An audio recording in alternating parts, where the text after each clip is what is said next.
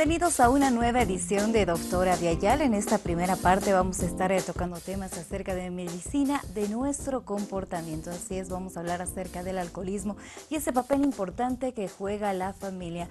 Eh, recordemos eh, que Doctora Viayala no solamente se preocupa por la salud biológica o física, sino también por nuestras emociones, por nuestros sentimientos, por nuestros pensamientos y por cada una de nuestras actitudes. Quiero dar la bienvenida al doctor adiccionólogo Hugo Pérez Lara. ¿Cómo está? Bienvenido a Doctora Yala. Karen, buenos días y encantado de estar en tu programa y prestos pues para cooperar con este problema tan serio. Muchísimas eh, gracias y gracias también a nuestros amigos anticipadamente porque sabemos que van a estar participando. Recuerde que usted puede hablarnos acerca de tal vez algunos problemas que haya estado viviendo con relación a este tema, si quiere tal vez hacer alguna consulta o participar, por supuesto, en Doctora Viayala. Puede comunicarse al 214-8440 y escribirnos a partir de este momento al 656-39-678 con toda confianza. Iniciamos entonces. Veamos eh, esta breve introducción que nos habla sobre lo que es del alcoholismo.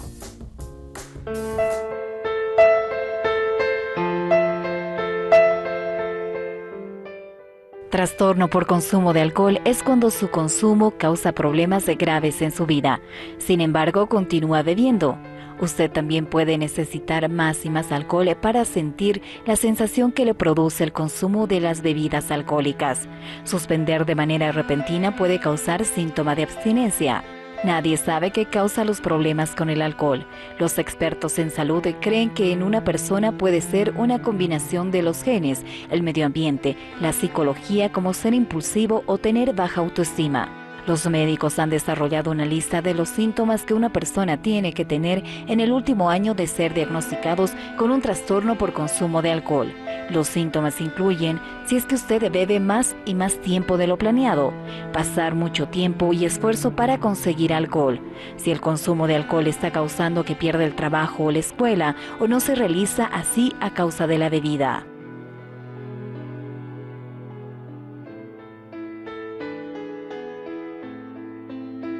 Continuar bebiendo incluso cuando están siendo perjudicadas sus relaciones con la familia y los amigos, dejar de tomar parte de actividades que solía disfrutar. Estos pueden ser algunos síntomas que incluye el trastorno por consumo de alcohol. Alcoholismo y el juego importante que debería de eh, también presentar eh, la familia ante este problema es el tema que estamos abarcando en esta primera parte de Doctora Viayala. Ya lo decíamos en la preocupación no solo de cuidar de nuestro cuerpo, sino también esa salud mental, esa salud en cuanto a nuestra familia, el apoyo que debería de existir en temas eh, como estos. ¿Qué es el alcoholismo, Hugo? Bueno, el alcoholismo es una enfermedad. Actualmente la Organización Mundial de la Salud ya nos dice que es una enfermedad. Es una enfermedad que afecta el cuerpo, la mente, las emociones y el espíritu y la familia. Entonces, eso es el alcoholismo y las consecuencias que produce, como nos decía en, la, breve sinopsis de ese video, que es el daño que produce a la persona mismo y a la familia y a todo su entorno. ¿Quiénes son alcohólicos? ¿A quiénes podríamos denominar como una persona que estaría padeciendo esta enfermedad del alcoholismo? Desde el punto de vista médico, tenemos un cuestionario bien sencillito de cuatro preguntas. Dice, si tú tomas alcohol y te produce consecuencias negativas y continúas bebiendo, eres alcohólico. Segunda pregunta, si al día siguiente después de tomar necesitas un trago para tranquilizarte, eres alcohólico. La tercera pregunta, si tienes remordimiento alcohólico después de haber tomado, eres alcohólico. Y finalmente, si tomas sin ninguna necesidad, solamente de ir a emborracharte, eres alcohólico. ¿Una persona con alcoholismo se hace o nace con este problema de salud? La pregunta es excelente, Karen. Las personas nacen. Los estudios científicos realizados en los Estados Unidos se llevó a cabo una, una una cohorte se llama, se seleccionó a gemelos idénticos y se los siguió por 40 años. A los gemelos se los dividió en familias, se los separó primero y luego se los puso en familias adoptivas, familias alcohólicas, familias no alcohólicas, gemelos de padres alcohólicos, gemelos de padres no alcohólicos, y los mezclaron y les hicieron un seguimiento por 40 años. Después de 40 años hicieron los estudios Y el resultado final fue que se diagnosticó 100% garantizado que el alcoholismo es una enfermedad que se transmite de padres a hijos. Si un padre es alcohólico, la probabilidad del hijo es de 50%. Si los dos padres son alcohólicos, la probabilidad es el 80% de que el hijo salga alcohólico. Gracias, em, doctor. A todos nuestros amigos en casa, recuerden que pueden comunicarse con nosotros el 214-8440. Ya está habilitado y que también pueden escribirnos al 656-39-678. Parece mucho más un tema social, pero es importante hablar de estos temas, eh, por supuesto, y que usted comente y participe en doctora Viayala, ya que es un tema que no debemos eh, dejar de lado. Esto para cuidar también nuestra salud, la salud de cada uno de nosotros, de nuestros hijos, de nuestra familia. Así que, por supuesto que usted puede comunicarse y comentarnos tal vez algunas de sus experiencias o sugerencias en cuanto a este tema. ¿Cómo se diagnostica el alcoholismo en una persona, doctor? Ok. fíjate, antes de entrar al diagnóstico, te añadiré otro punto importante. Adelante. Que es la parte científica de por, qué se dice que el alcoholismo es una drogadicción. Genética y también los estudios científicos realizados en base a tomografías demuestran de que hay centros especiales del alcohol que se dañan.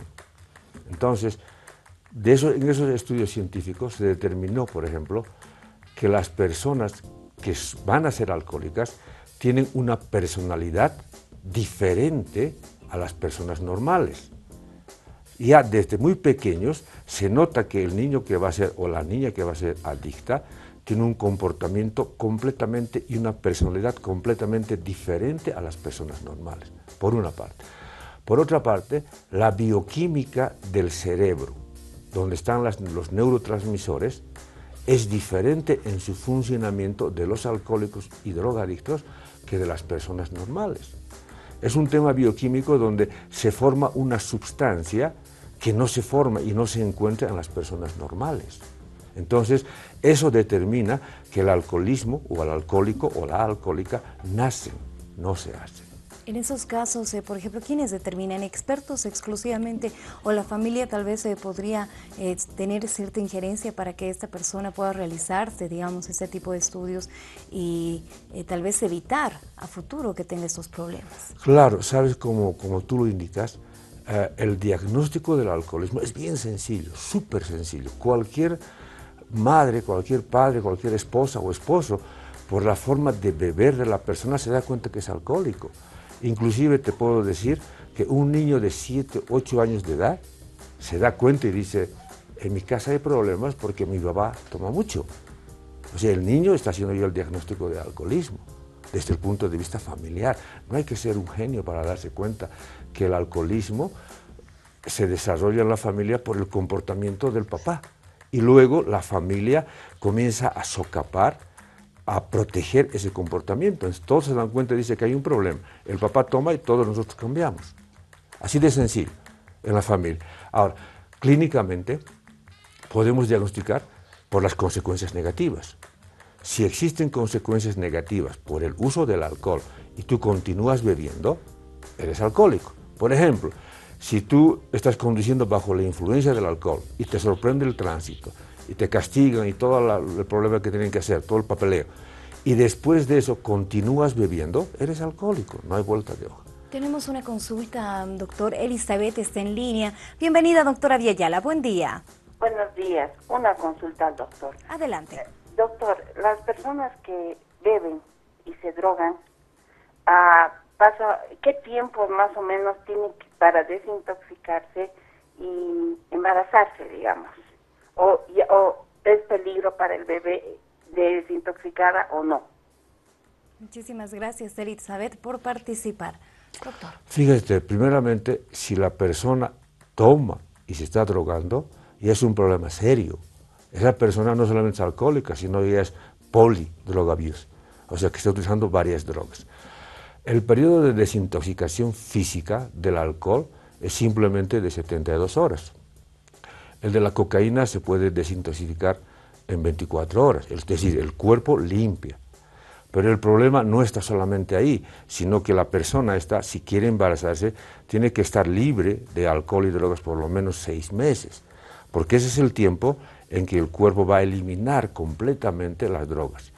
Por ejemplo, en un estudio que se hace de los cabellos en Estados Unidos para determinar si un postulante a un cargo importante es o no consumidor de drogas, se saca un cabello y se lo pone al laboratorio. Y todavía hasta en un año de plazo se detectan los rastros de la cocaína en el cabello, hasta un año. Por consiguiente, la desintoxicación inicial puede realizarse en una semana, pero para que el cuerpo esté limpio completamente, esta persona tuviera que estar libre de toda sustancia, de todo consumo de sustancia, por lo menos seis meses. Tenemos otra consulta. Doctor Juan de Dios está con nosotros en línea. Bienvenido, doctora Villayala. Buen día. Buenos días, doctor. Una consulta. Eh, tengo un hijo que anda bebiendo mucho y, frecuentemente, entonces eh, hemos estado optando por darle antabús. ¿Qué opinión le merece o qué otro tratamiento se puede hacer? Porque hemos recurrido al psicólogo, al psiquiatra, pero no surte efecto. Entonces, creo que esto al margen del vicio eh, es una enfermedad pero eh, alguien nos ha recomendado ese tema del antabús, bueno, tiene otro nombre creo también, y se le ha ido dando en café, en lo que se ha podido, pero ¿qué efectos tendría? O sea, ¿le causaría peor o le mejoraría? ¿Qué es el tema, doctor? Juan de Dios, ¿cuántos años tiene su hijo? 24. ¿Y hace cuánto tiempo estaría consumiendo bebidas alcohólicas? hace más de medio año de repente. ¿Y alguna explicación que les dé? Ninguna. Muchas gracias, Juan de Dios, por participar en Doctora Villayala. Fíjate, voy a contestar en dos partes, porque hay dos preguntas acá. Así. La primera pregunta está diciendo si el antabús le va a curar del alcoholismo. La respuesta definitiva es no.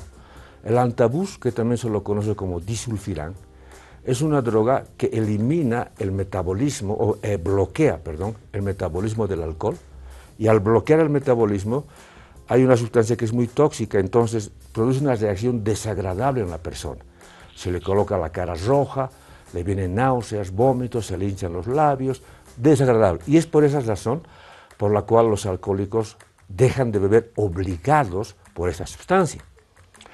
Algunos alcohólicos más avesados lo que hacen es, llaman, hay que romper al antabús.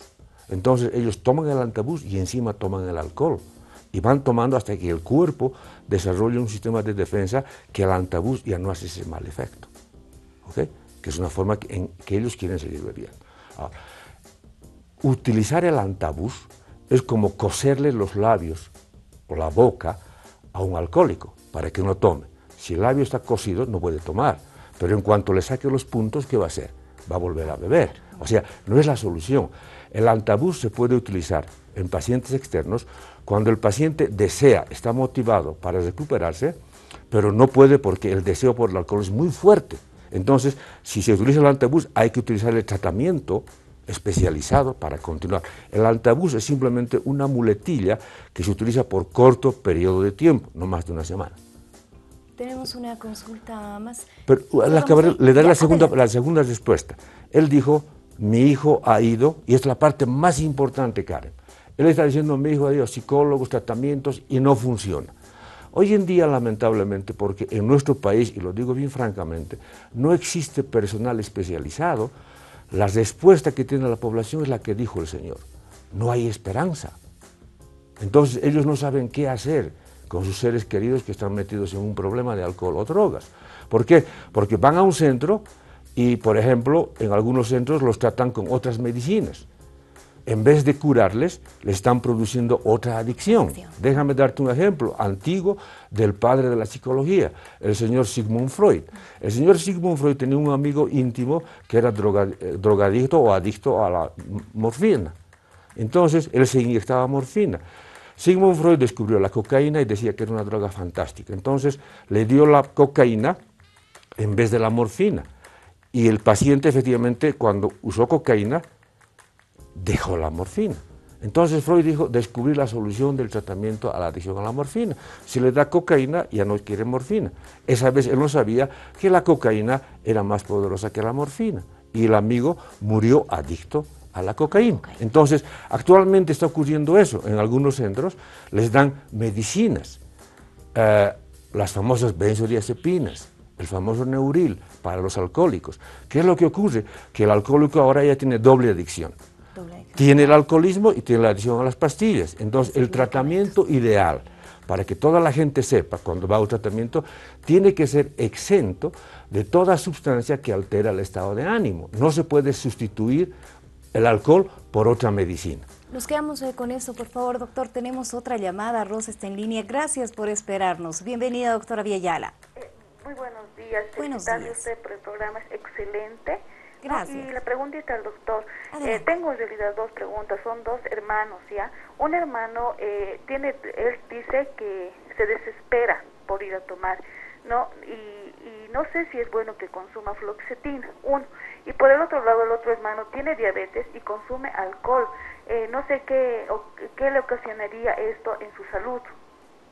Gracias, Rosa, por comunicarse con nosotros. Doctor. El fluoxetín es un antidepresivo. ¿ya? Y los antidepresivos no actúan inmediatamente. El antidepresivo necesita cuatro semanas para comenzar a dar efectos para salir de la depresión. En este caso, si el hombre está tomando y tiene la compulsión de tomar, lo que ella dijo, se desespera, eso se llama la compulsión, es decir, el cuerpo le pide alcohol. Eso es parte del alcoholismo. El antidepresivo no le va a hacer nada, porque no está tomando porque es depresivo, él está tomando porque es alcohólico. Entonces no va a hacer absolutamente nada. En la segunda pregunta, el paciente es diabético. Significa que el paciente tiene un problema con el azúcar porque no está funcionando bien el páncreas. El alcohol, lamentablemente, produce daño al nivel de las células del páncreas que producen la insulina, las destruye. Por consiguiente, su diabetes va a terminar empeorándose más y su alcoholismo va a continuar avanzando. Muchísimas gracias, eh, doctora. A todos nuestros amigos en casa, gracias por participar. Hacemos una pausa en Doctora Villayala, después estaremos hablando acerca de esa etapa de negación y cómo la familia puede ayudar a cada una de estas eh, personas. Nos vamos a la pausa y ya regresamos para dar respuesta a cada una de sus preguntas.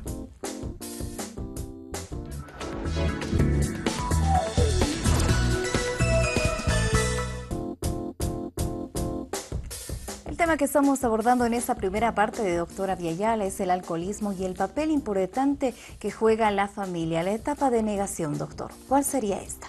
Bueno, ah, fíjate, la palabra negación es difícil de comprenderla, porque dice, ¿qué es negación? Los alcohólicos están en negación, dice. Ok, ¿qué significa que están en negación? Significa que el alcohólico, a pesar que toma demasiado, que tiene las consecuencias negativas por el consumo del alcohol, que hay problemas en la familia. Si digamos el hombre es el alcohólico, la mujer no le gusta que toma, el hijo no le gusta que tome, o el papá no le gusta que tome, producen problemas. Pero él, en su enfermedad, no se da cuenta de que el alcoholismo le está produciendo estos problemas. Entonces él dice, no, mi papá exagera, mi mamá exagera, no, mi mujer está exagerando. Entonces él, honesta y sinceramente, no cree que él tiene problemas con el alcohol. Eso es negación. Y ya no se le vuelve a decir nada, tal vez, eh, doctor, y muchos caen en este, no sé si es un error, definitivamente. ¿Por qué? Porque se va a enojar, porque ya no, no, le puedo decir que no vea porque se va a enojar, se va a molestar. Creamos discusiones, eh, los niños están cerca eh, de nosotros y se pueden dar cuenta de que existe ese malestar familiar. Exactamente, y sabes que eso de enojarse es un sistema defensivo del alcohólico. El alcohólico utiliza la agresión verbal y física para proteger, para que no, porque en el fondo él sabe que tiene problemas, pero no puede reconocerlo. Entonces cuando el papá o la mujer o el hijo les reclama, les dice, ¿por qué tomas tanto? Se molesta. Y al molestarse viene la agresión. Es es un sistema de defensa simplemente. Ahora, lo que tiene que hacer la familia en este caso es educarse para saber cómo enfrentar a este problema. Una de las recomendaciones mías es la familia no debe nunca confrontar al adicto con el problema, porque lo único que va a lograr es pelear con el alcohólico. Lo mejor es buscar el intermediario, el especialista que hable con él. Entonces le dice al, hombre o a la mujer, depende de quién sea el alcohólico, decirle, ok, tienes, estás tomando demasiado, sí, yo no tengo problema, está normal, ok, vayamos donde un experto para que te haga una evaluación y nos diga si eh, tienes problemas o no tienes problemas. Si no tienes problemas, no te molesto nunca más. Si tienes problemas, buscamos tratamiento. Así de sencillo. La persona, la familia, el papá o la mamá, no tienen que enfrentarlo al alcohólico porque se van a buscar problemas. Y otra cosa importante, no lo hagan cuando está borracho, porque el alcohólico es cuanto peor se va a enfurecer.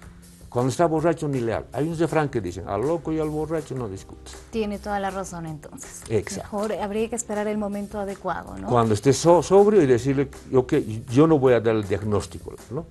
Es decir, la, la, mujer le dice, yo no voy a dar el diagnóstico, pero creo que la forma de beber tuya está algo anormal. Buscaremos ayuda a alguien que nos diga si eres o no eres. Es importante que la familia esté informada. Claro, porque temas. fíjate, si la, si la familia estaría ignorante cómo, cómo tomar este problema y qué es este problema, no sabe cómo accionar. Es por eso que hay mucho fracaso en las familias y frustración al no poder ayudar a su ser querido porque no sabe cómo hacerlo. Ah, este programa que estamos llevando a cabo hoy día es una bendición para esta gente porque está aprendiendo qué tiene que hacer. Tenemos otra consulta. Nuevamente Juan de Dios se comunica con nosotros. Buen día Juan de Dios, adelante por favor. Doctor, eh, primero preguntarle cuál sería el consejo para que eh, las personas dejen de beber, o sea, cuál sería el tratamiento perfecto de esto, porque la verdad no encontramos una respuesta. Y dos, en este tema que le había antecedido, del el, que se llama el medicamento ese, eh, a un pariente que sí, eh, que ya era al extremo bebedor, así constitucionario, alcohólico, que andaba en las calles, etcétera, se le dio este antabús y lo, y lo sanó, le cuento, o sea, lo recuperó, dejó la de beber y él estaba ya en los años entrados, ya persona muy mayor. Entonces, lo que quisiera saber, doctor, ¿cuál es la, la fórmula o el, el consejo que usted daría para que nosotros luchemos contra ese alcoholismo de los no solo los hijos, sino también los familiares o personas allegadas. Gracias. Muchas gracias. Gracias, Juan de Dios, eh, por volver a comunicarse con nosotros. Ok, me gusta la pregunta y la mención que hace del antabús. Resulta de que en el alcoholismo existen situaciones que conducen a una no recuperación, sino que dejan de beber. Puede haber cualquier circunstancia. Por ejemplo, les voy a dar aquí el ejemplo de Maradona, Diego Armando Maradona, el famoso futbolista. Fue por, creo que 100 tipos de tratamientos y ninguno le funcionó. Y un día, cuando le dio el infarto al corazón y su hija fue al hospital, porque estaba a punto de morirse, le dijo, papi, por favor, no te mueras, hazlo por mí. Maradona, eso le tocó. Y dejó de beber y de drogarse. ¿Okay? Hay otros... Eh, relatos eh, de experiencias religiosas. Una persona que va a una iglesia y algo pasó y dejó de beber. Ah, este caso, por ejemplo, que tomó el, el, antabús y la persona dejó de beber, pero no se ha recuperado, simplemente dejó de beber. Eso es diferente. La recuperación implica que este paciente tiene que hacer un cambio del comportamiento, porque hay lo que llaman en los grupos de alcohólicos anónimos los borrachos secos. Hay personas que han dejado de beber y son peor de agresivos, molestosos, gruñones que cuando eran borrachos. Entonces, ¿qué ocurre? La familia dice, prefiero que vuelva a beber, porque cuando estaba bebiendo era más tranquilito y ahora es peor. Entonces, el dejar de beber no significa que este individuo se ha recuperado. Primera parte. La segunda parte de la pregunta, ¿qué ¿cómo se ayuda a estas personas? La única forma es un tratamiento. El tratamiento es completo. El tratamiento que yo realizo en la clínica implica la parte física, que es el dejar de beber. Es lo más sencillo dejar de beber. Para el alcohólico es súper sencillo dejar de beber. El problema es que se mantenga sin beber. Esa es la parte difícil. Tenemos acá una consulta que quiero eh, relacionarla, por favor, doctor. Dicen lo siguiente, buenos días, mi consulta es si existe un tratamiento ya que se ofrece quitar cualquier tipo de adicción con láser directo al cerebro, dice, ¿este tratamiento es efectivo? ¿Existe? Este amigo lo habría visto en el periódico. Ahí viene pues la misma respuesta. El láser hay unos implantes que hacen, otras pastillas extras. En Estados Unidos utilizan la metadona algunas veces, otra se llama la buprenorfina. Todo esto son fraudes. No existe una pastilla mágica que puede curar el alcoholismo o la drogadicción. ¿Por qué no existe una pastilla mágica? Porque la adicción no es solamente el tomar, sino hay problemas de compulsión, de personalidad, y lo que dicen Alcohólicos Anónimos, la adicción y la drogadicción es una bancarrota espiritual. Por consiguiente, el tratamiento tiene que conllevar, primero, el bienestar físico, luego, la sanación emocional. Los alcohólicos y drogadictos se vuelven alcohólicos y drogadictos porque tienen problemas serios de abandono, abuso físico, abuso emocional, abuso sexual. Son las causas fundamentales que conducen al desarrollo de la adicción. Entonces, si no curamos la parte física, emocional, espiritual y el tratamiento de la familia, no existe recuperación. Esa persona que dejó de beber, por ejemplo, con el antabús, puede que ahora busque otra adicción, que puede ser el juego, puede ser las pastillas o algo. Entonces, él no se ha curado, simplemente ha cambiado de adicción.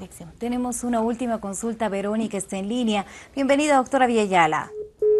Bueno, se nos fue la llamada. Tenemos eh, también eh, más preguntas a través del 656-39678. Doctor, ¿cuáles son los diferentes comportamientos en los niños que podrían ser futuros bebedores? También, buena pregunta. Fíjate, en un niño de 7, 8 años, sencillo hacer el diagnóstico. Los famosos videojuegos.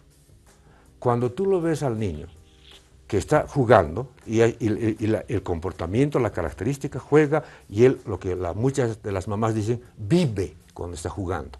Él está jugando el jueguito. Eh, Juancito, ya, está la, comida, ya voy. Sigue jugando. Pasa cinco. Juancito, ya ven a comer, ya voy. Pasa, sigue, el muchacho sigue. Juancito, a comer, ya voy. La ya pues, ven una vez a comer. Ya, pero te he dicho, ya, no quiero comer. Ya, ya se creó un problema ese niño ya es adicto al videojuego. Una forma en la que te das cuenta es ese comportamiento y la reacción que conduce otra vez al problema familiar con la mamá. Un ejemplo. El otro ejemplo, si los ves en los tilines a los niños. El niño está en el tilín, digamos, esta es la máquina del tilín, el niño está jugando, ¿sí? Y está perdiendo. Entonces el niño comienza a desesperarse con la máquina y comienza a agarrarla y la comienza a mover izquierda, derecha, abajo, arriba. Y está con el juego, pero está enloquecido. Ve ese comportamiento y es adictivo. Cuando se le acaba el jueguito al niño, ya no tiene la monedita para colocar, comienza a buscar el bolsillo y da la vuelta, pero está buscando las moneditas, ya no hay moneditas y sigue buscando dónde encontrar. Ese comportamiento es clásico de una persona adictiva. Tenemos a Verónica nuevamente en línea. Eh, bienvenida, doctora Villayala. Buen día. Eh, buenos días, bendiciones por el programa. Gracias. Adelante, eh, Verónica. Al doctor, em, bueno, todo lo que nos explica para todos los que somos familiares de mi hijo es, empezó con las drogas y siguió con el alcohol, o, sea, es drogadicto y alcohólico. Y hace 16 años lo hemos metido al, San Juan de Dios, se escapa, ha estado en otros centros, se escapa, no quiere ayuda. Al principio yo me estaba hundiendo junto con él. Mi mamá igual, mi mamá murió de cáncer eh, él ha perdido su familia, tiene 31 años, eh, no lo ve ni a su hijito. Eh, es una cosa que se sufre increíble. A mí me ha llegado a golpear, porque en los momentos en que está bebido y con, cocaína encima es, es terrible. Somos de una familia media, nunca le hemos hecho faltar nada amor así lo que le ha sobrado porque es el único nieto, el único hijo. Y, y a veces, muchas veces uno se siente culpable. Y yo lo hablaba con otras madres. Decimos, ¿en qué hemos errado para que nos pase esto? Porque realmente es bien, bien doloroso ver cómo nuestros hijos que han salido de nuestros vientres se destruyen de esta manera. Mil gracias, doctor, y que Dios te bendiga. Gracias, eh, Verónica, por eh, realizar su llamada y por la confianza en doctora Villayala y en nuestro especialista. Verónica, realmente agradecerte por esta llamada, ya que el drama que compartes con todos los televidentes es el drama que está viviendo toda la población de Bolivia. Es así de grave y de, como sus mismas palabras expresan, desalentada la señora. No sabemos qué hacer. Hay dos tratamientos, lo que te he dicho, es el drama de todo Bolivia no hay centros de tratamiento especializados en alcoholismo y drogadicción. En casos como estos, por ejemplo, lo que ella nos está explicando se llama la codependencia. ¿Qué significa? Que ellos le comienzan a facilitar, a apañar todo al paciente, le dan todo como si fuera un niño rey, un niño mimado. Y eso, en vez de ayudar a la drogadicción, empeora, porque él se siente el que es el protegido de toda la familia y le hacen más daño que bien. En acá tiene que intervenir lo que se llama el amor duro. El amor duro es al revés. Hay que permitir que el paciente crezca emocionalmente. Desde luego, el tiempo, la forma del programa no nos va a permitir ampliar, porque es un, proceso largo. Entonces, lo más recomendable es que la persona vaya a un tratamiento donde saben lo que van a hacer, que los profesionales sean expertos. Lamentablemente, Karen, te digo, en Bolivia no existe un centro. El centro que estoy conduciendo es el único que se mantiene a nivel de profesionalismo y experto en este problema de drogas. En toda Sudamérica soy el único centro. No existe este. Los otros centros abren pero sin ninguna experiencia y el resultado es como dice la señora, le llevamos aquí, se escapa, le llevamos allá, se escapa. Entonces, eso es lo que ellos tienen que aprender. Cuando vienen al tratamiento conmigo, les enseño todo lo que hay que hacer para que el paciente no se escape. Yo tengo las puertas de mi clínica, no son prisión, yo las tengo abiertas de par en par. Ningún paciente se escapa, porque sabemos lo que estamos haciendo y le educamos a la familia y hacemos que la familia también aprenda lo que es la recuperación. Para Verónica, entonces, eh, aquí tenemos una excelente opción. Eh, ¿Nunca es tarde, doctor? ¿Será que una persona se puede curar del alcoholismo? Sí, fíjate, en acá en Bolivia vemos el desastre, ¿no? que nadie puede recuperarse. Yo vengo de Estados Unidos, he trabajado 30 años allá. En Estados Unidos las tasas de recuperación fantásticas, todo el mundo confía, todo el mundo sabe. Los diagnósticos de los niños que van a ser alcohólicos lo hacen en temprana edad. Se hacen los diagnósticos en la escuela, en los trabajos, en las universidades, y ahí se los mete al tratamiento. El sistema de tránsito hace diagnósticos, se lo pone al tratamiento. Aquí estamos carentes de todo esto y nadie quiere trabajar tenemos más consultas. Cuando los niños o adolescentes caen en alcoholismo, ya sea por curiosidad en colegio, ¿cuál debería ser el trato o la manera de persuadirlo de esto? Nos preguntan. Seguramente muchos papás lo primero que hacen es eh, llegar directamente a intentar eh, corregir estas actitudes o estos nuevos hábitos a través de, la violencia, por ejemplo, ¿no? antes de la comunicación. Claro. En este caso, por ejemplo, la parte fundamental es la educación. ambos tanto al, joven que, ha tomado y al papá. Repito nuevamente, no es bueno que el papá haga el papel de consejero, de educador o de profesional en tratar de hacerle frenar al niño su comportamiento. Siempre hay que buscar una persona intermediaria que pueda intermediar. ¿Por qué? Porque hay una relación emocional entre padre e hijo. Entonces no puede meterse el padre a ser el policía. Hay algunos padres que toman la iniciativa de que ellos hacen exámenes de orina con sus hijos para ver si han tomado alcohol o drogas. Es un papel de policía, el, policía tiene que hacer eso, no el papá. Eso más bien destruye la relación padre-hijo. Tienen que buscar una persona intermediaria, llevarlo al muchacho para que se le eduque. Hay que ver los antecedentes hay alcoholismo, drogadicción en la familia, el muchacho está en alto riesgo y de acuerdo a eso hacer el tratamiento y la educación necesaria. Doctor, cerramos esta primera parte en este espacio de doctora Viayal, algunas recomendaciones en casa. Ah, fundamentalmente la educación. Segundo, no enfrentarse con el problema con el niño, con la niña, o con el joven o con la joven. Dejar que una tercera persona entre, porque el problema es serio a nivel emocional y destruye la familia. Muchísimas eh, gracias, lo esperamos en una nueva ocasión, en una nueva edición de Doctora Villal. Esta ha sido la primera vez, pero esperamos que no sea la última. Diferentes temas que por supuesto podemos eh, tocar gracias a toda la especialización que usted tiene, doctor. Hablamos de adiccionólogo Hugo Pérez eh, Lara. Muchísimas gracias por estar con nosotros. Bueno, igualmente agradecerte y por último mencionarles que existe un libro, tengo un libro, que lo tengo a la venta en el colegio médico, en el segundo piso del colegio médico, y a todas las personas que, que, hayan visto el programa pueden ir al colegio médico y comprar este libro al peso de 10 bolivianos. De 10 bolivianos. Bien económico, para que puedan ir a la casa. Y aquí van a aprender mucho de las cosas que cómo se diagnostica el alcoholismo y drogadicción. ¿Ya? Y cualquier cosa, finalmente, llamar, ¿no? Si tienen consultas, Así es. yo voy a atenderles bien amablemente eh, tengo la clínica donde estoy convirtiéndola en una clínica de comunidad.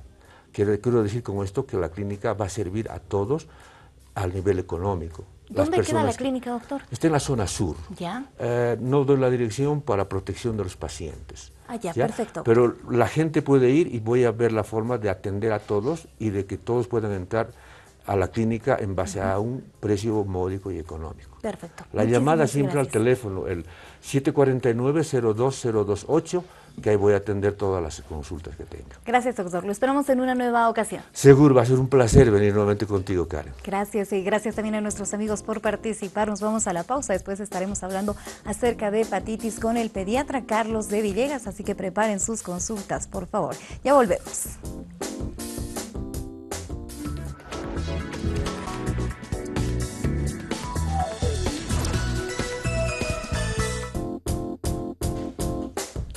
Continuamos en esta segunda parte de Doctora Viayala. Quiero dar la bienvenida al doctor pediatra Carlos de Villegas. ¿Cómo está, doctor? Como siempre es un gusto tenerlo en este espacio dedicado a la salud de todos los miembros de nuestro hogar. Muchas gracias, muy buenos días. Un saludo a todos los espectadores. La sugerencia de hoy es hepatitis, así que ya iniciamos con esta breve introducción.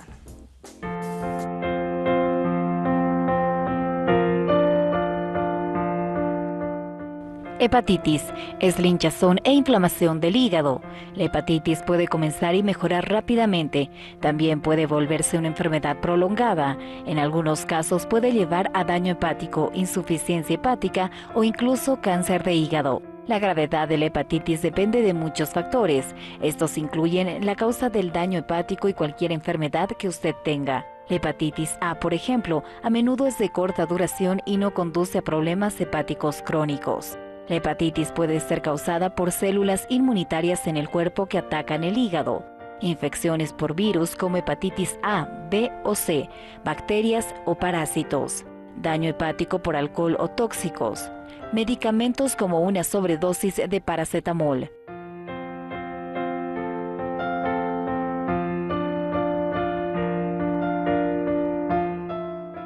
La enfermedad hepática también puede ser causada por trastornos hereditarios como la fibrosis quística o la hemocromatosis, una afección que consiste en tener demasiado hierro en el cuerpo. También puede ser hepática posteriormente. Si es que tiene algún factor de riesgo asociado a cualquier tipo de hepatitis, le deben hacer exámenes periódicamente.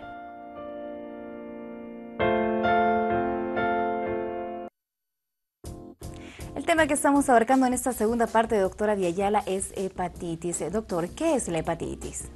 Bueno, la hepatitis en términos generales es una inflamación de la glándula hepática. La glándula hepática cumple innumerables funciones dentro del organismo, es un laboratorio prácticamente dentro de nuestro organismo. Y bueno, la inflamación de esta por diferentes causas puede dar como resultado la, la hepatitis. Generalmente o la causa más frecuente son las infecciones, que bien pueden ser virales o bacterianas. Eh, como se ha mencionado en la nota previa, el consumo de algunos medicamentos en, dosis muy altas o muy tóxicas también, el trauma directo hacia el hígado puede producir que éste se inflame, eh, el consumo de algunos eh, venenos también puede producir la hepatitis o que el organismo reaccione a algunas enfermedades que se llaman autoinmunes en las cuales el organismo reconoce como extraña la glándula y empieza a atacarla. Son los casos tal vez menos frecuentes, pero están dentro de la clasificación de la hepatitis. ¿Cuáles son esos tipos de hepatitis existentes? Principalmente, y cuando hablamos de niños, las hepatitis más frecuentes son las infecciones virales. Estas están causadas por un virus, existen diferentes tipos de virus que causan la hepatitis. Los más frecuentes, el virus de la hepatitis tipo A, tipo B y tipo C, aunque existen otros tipos más como la hepatitis D y E, que son menos frecuentes y se han estudiado menos. En la población pediátrica, la mayor eh, cantidad de, niños infectados por eh, virus de la hepatitis son niños que se han infectado con el virus de la hepatitis A. Los síntomas, eh, doctor. ¿Cómo podemos saber que un niño está padeciendo de una hepatitis? La hepatitis, al, ser causada por un virus, cuando estamos hablando de la infección viral, tiene una presentación prodrómica o antes de la enfermedad muy parecida a lo que dan muchas otras enfermedades virales, sarampión, varicela, resfríos, etc. El niño empieza con fiebre, malestar, decaimiento, falta de apetito, hasta ahí nadie sospecha que se trate de una infección viral. Posteriormente el niño puede presentar náuseas, vómitos, dolor abdominal y em, en, algunos casos, no en, la no en todos, el niño empieza a presentar un tinte amarillo en los ojos, principalmente en las escleras, que posteriormente se va generalizando en el resto del cuerpo. Y ya como, como datos muy patognomónicos o muy característicos de la hepatitis, el niño empieza a tener unas orinas muy oscuras, muy tintas, que si investigamos con la mami y le preguntamos, es como un té cargado, como la sultana que se conoce en nuestro medio y las deposiciones se ponen más eh, de color blanquecinas, más pálidas, ¿no? Se llama colia. Entonces estos síntomas nos hacen sospechar, pero em, recordar que no necesariamente todos los niños con hepatitis se ponen amarillos. Ah, hay un gran porcentaje, casi un 60% de niños que hacen hepatitis anistérica, se llaman, es decir, que el niño no se pinta de amarillo. ¿A partir de qué edad deberíamos eh, estar atentos, eh, doctor? ¿Y hasta qué edad de que nuestro niño pueda padecer de una hepatitis? La hepatitis puede transmitirse en cualquier momento de nuestra vida. Bueno, eh, recordar, y esto es importante aclarar, que la hepatitis tipo A tiene una transmisión que se llama fecal oral, es decir, la persona infectada con el virus de la hepatitis A a través de las deposiciones va eliminando el virus durante mucho tiempo, varias semanas. Entonces, si esta persona no se lava las manos, eh, manipula alimentos que son consumidos por otras personas, entonces eh, se produce la transmisión. En el virus de la hepatitis B, por ejemplo, es diferente. La transmisión del virus de la hepatitis B se produce a través de la sangre, saliva, fluidos, eh, semen, etcétera, ¿no es cierto? Entonces, el tipo de transmisión eh, es muy parecido a cómo se transmite el, virus de inmunodeficiencia humana, el VIH. Entonces, a través de la sangre, cuando hace años no, no se hacían pruebas rigurosas en las transfusiones de sangre, era muy común la transmisión de hepatitis a través de la sangre. Ahora la sangre seguro obviamente ha obviado aquello, pero es la forma en la que se, que se transmite. La hepatitis de tipo C es muy parecida con la salvedad de que el 90% de las personas o niños que padecen hepatitis C pueden llegar a desarrollar una enfermedad hepática crónica que puede llevar incluso al cáncer hepático. Entonces, si hablamos de la A, que es la más frecuente en nuestros niños, esto se va a transmitir principalmente en los centros de cuidado diurno, ¿no es cierto? En las guarderías, donde de pronto hay un niño que tiene hepatitis, entra al baño, no se lava bien las manos, el personal no tiene el cuidado, este niño manipula alimentos o manipula juguetes que los niños se llevan a la boca, entonces pueden contagiarse. El contagio puede ser en cualquier momento. Vamos a dar lectura a una de las eh, preguntas, doctor. Quisiera saber si es que un niño puede padecer más de dos veces una hepatitis. No, la hepatitis eh, produce inmunidad. Al tener la enfermedad, nuestro organismo reconoce al virus y empieza a formar anticuerpos. Entonces, eh, eh, no puede presentar dos veces un niño que ya ha pasado por hepatitis. Que se cura. La hepatitis se cura, por supuesto. Nadie puede quedar con hepatitis toda la vida, salvo en estos casos que estamos hablando, hepatitis tipo C, por ejemplo, que puede producir una enfermedad crónica. La enfermedad crónica es una hepatitis que tiene mucho tiempo, muchos años y que puede desencadenar en un problema em, neoplásico, cáncer de hígado. Entonces, este sí es una hepatitis crónica de largo plazo. En cambio, la hepatitis A no, tiene un periodo prodrómico, tiene una fase de estado y tiene una fase de resolución. Doctora, acerca de los tratamientos en cuanto a hepatitis. Bueno, al ser un proceso viral, pues no tiene tratamiento, ¿no es cierto? Eh, es igual que querer curar un resfrío, curar una varicela, curar un sarampión, que son virus, no tienen tratamiento. Lo que se realiza es un tratamiento sintomático, aliviar el malestar, aliviar un poco la fiebre, quizás un poco el dolor, aunque el dolor eh, generalmente está causado porque el hígado está recubierto de una, de una, capa que, que, se inflama, se estira y esto produce dolor. Entonces muchas veces el reposo simplemente del niño eh, alivia el dolor. No olvidemos de que la mayoría de las cosas que consumimos, medicamentos incluidos, pasan a través del hígado también para metabolizarse. Entonces, a un hígado enfermo tenemos que tratar de darle el mayor descanso posible, ¿no es cierto? Entonces, reposo, mucho líquido, y la dieta que es importante, y aquí vale la pena hacer un, paréntesis, porque durante muchos años hubo la creencia de que las personas con, con, hepatitis no podían consumir grasas, no leche, no huevo, absolutamente. Entonces, la medicina basada en evidencia ha demostrado de que el niño que consume con cantidades normales de alimentos grasos, pues no influye en el eh, curso de la enfermedad. Entonces lo que recomendamos actualmente es una dieta normal, obviamente evitando excesos, por supuesto, pero una dieta generalmente blanca, normal, ¿no es cierto? Y aquí también eh, las personas mayores deben recordar, las abuelitas especialmente, que eh, sugerían el consumo de dulces. De dulces. Dulces, y mejor si eran los más ordinarios. Algunos, eh, otros eh, mitos, de doctor, vamos a dar respuesta a Rosemary, quien está con nosotros en línea. Bienvenida, doctora Villayala. buenos días. Va a disculpar, quisiera hacer una consulta con el doctor. Adelante, Saber sobre el, respecto del hígado graso. ¿Cuál sería su padecimiento, Rosemary? Eh, yo tengo el hígado graso y yo quiero saber por qué es lo que tengo, digamos, el hígado graso. Gracias, eh, Rosemary, por comunicarse con nosotros. Doctor, tal vez podríamos darle una respuesta generalizada. Sí, el hígado graso, bueno, sale completamente del tema, es otro tipo de patología. Eh, es, un, es, un, problema que se presenta en algunos niños, muy pocos, y es un tema que está relacionado principalmente al tema de alimentación.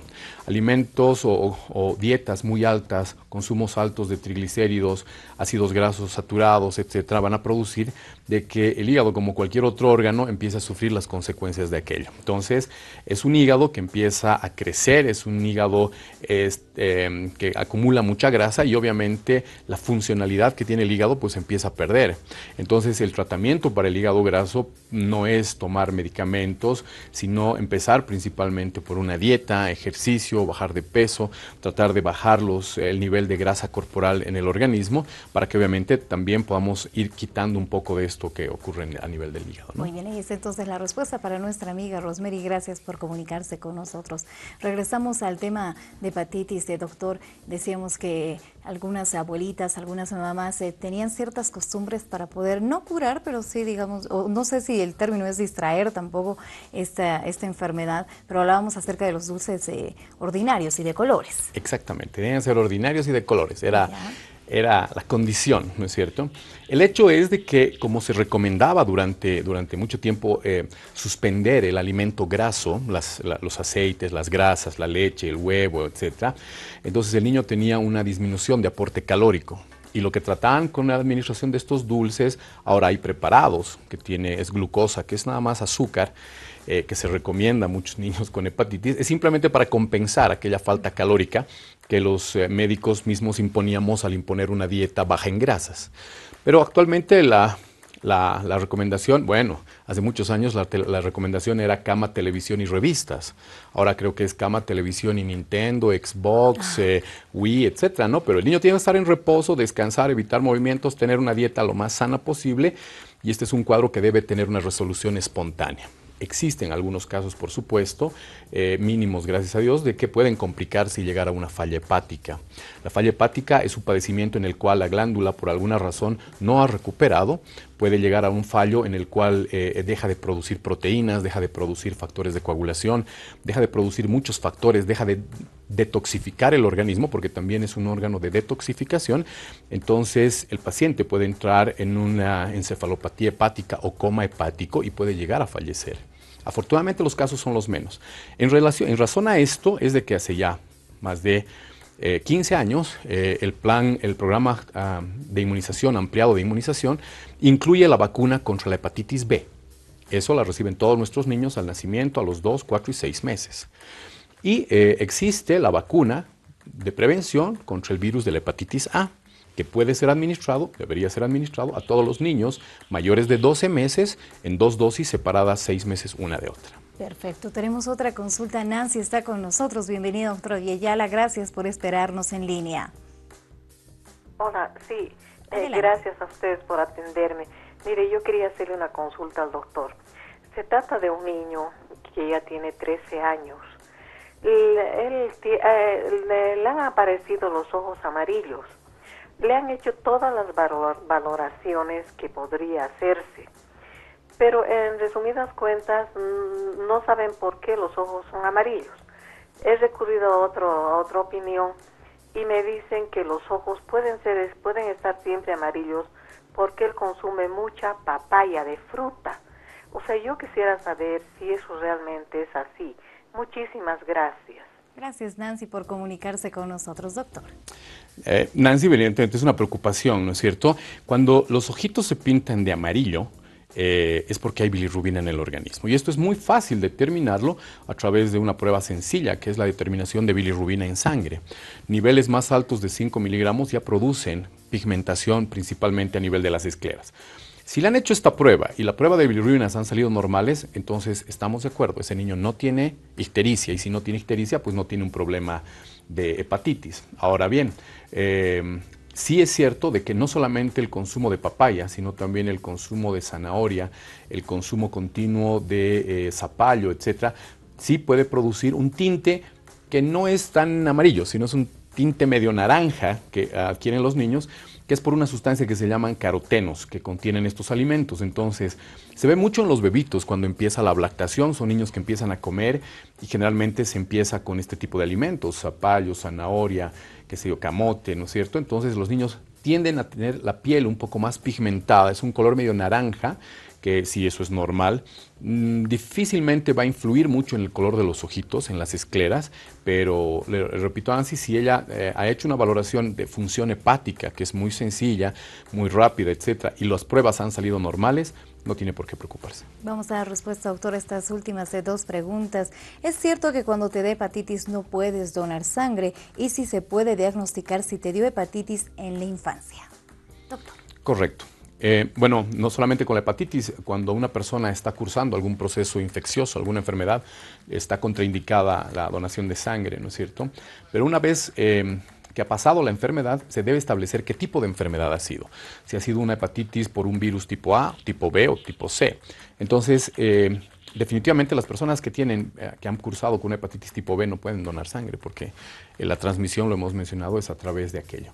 Pero las personas que han pasado hepatitis tipo A, una vez resuelta la enfermedad, pues no tienen por qué no donar sangre, ¿de acuerdo? La transmisión no es a través de la sangre.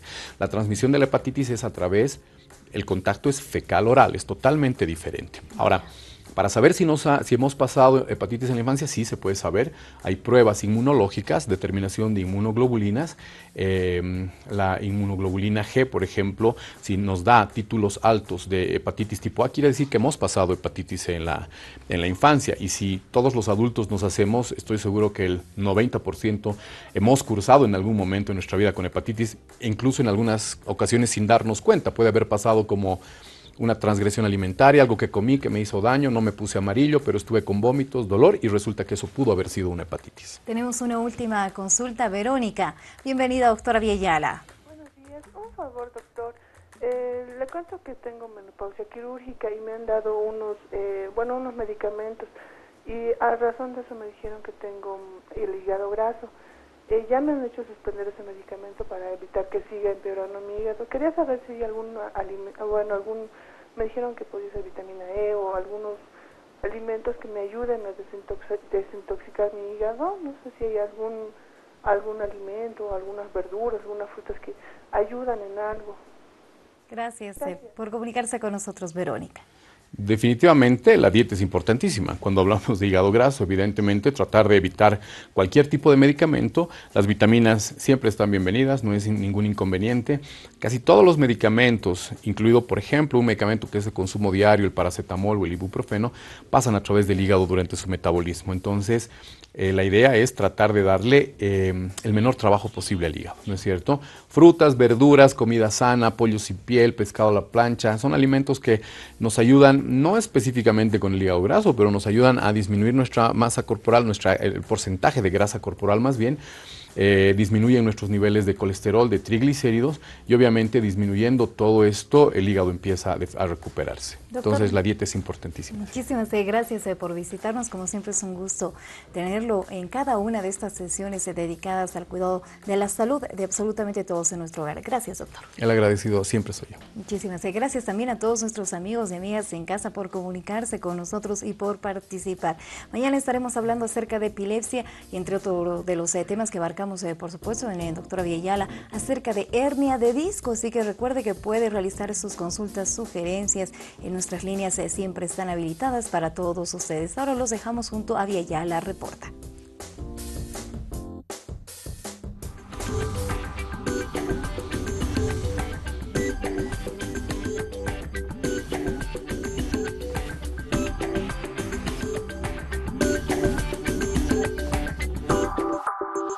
you